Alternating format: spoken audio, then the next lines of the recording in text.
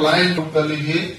ये कुर्सी जो लगा रहे हैं और चयनित लोग होते हैं जो इसमें बार बार गंगा स्नान करते रहते हैं।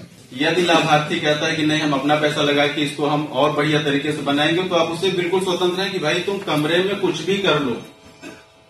ये हमारे यहाँ नी न्यूमर परियोजना बैच वन जो संचालित हो चुकी है और नी न्यूमर परियोजना बैच टू इसका संचालन अभी किया जा रहा है इसका ये निर्माणाधीन है। आज का प्रोग्राम हमने रखा है ग्राम पंचायत प्रधान सचिव खंड विकास अधिकारी।